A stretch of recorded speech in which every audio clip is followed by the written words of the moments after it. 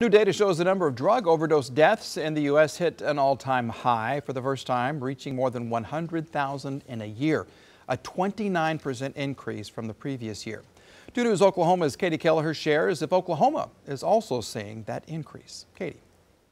Like most of the nation, Oklahoma saw an increase in drug overdose deaths, that number rising more than 20 percent. According to the Oklahoma State Department of Health, data from the CDC shows drug overdose deaths increased 23% in Oklahoma from March 2020 to March 2021. There are a few reasons for the increase. OSDH says they're seeing a continued rise in deaths from overdosing on meth, more so than overdoses on opioids. Amy Cox is the clinical director for the Tulsa Women and Children Center, a treatment facility for women addicted to drugs and alcohol. She says they're seeing a similar trend. 99% um, of the ladies that we that we have that we see and we treat are meth addicts. Opioid related overdoses are still rising in Oklahoma, mostly due to fentanyl. The State Department of Health says fentanyl deaths increased 170% from 2019 through 2020.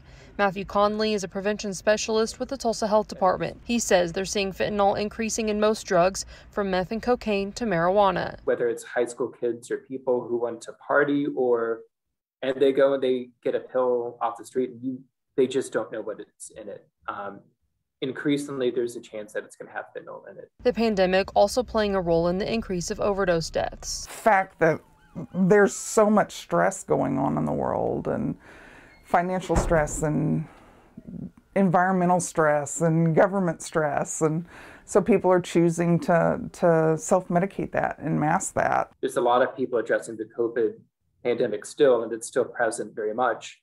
But now also we're kind of starting to see what the overall damage COVID has done. Now when it comes to this year, the state health department says the first half of 2021 shows a continued increase in drug overdose deaths compared to the first half of last year.